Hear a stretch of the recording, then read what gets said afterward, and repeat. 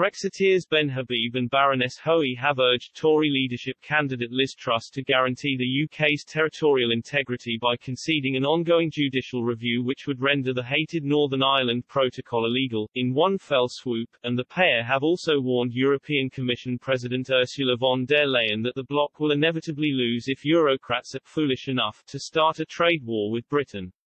The protocol is a huge bone of contention between, intended to prevent a hard border on the island of Ireland. Critics in the unionist community claim it has instead resulted in a border down the Irish Sea, effectively driving a wedge between Northern Ireland and the rest of the UK.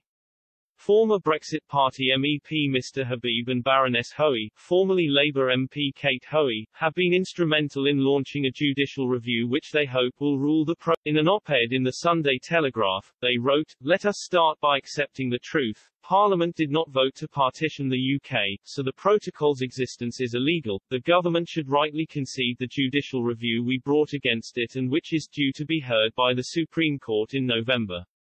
It had been difficult for Prime Minister Boris Johnson to accept the protocol's illegality because he created it, but Ms Truss would not be restricted in such a way. They added, she has already moved against it with her bill but that bill is not fully new to the protocol, it entails reams of additional legislation and an uphill battle with the House of Lords, plus, she will always be accused of breaking international law. Instead, by conceding the judicial review, the protocol would immediately be illegal, from inception.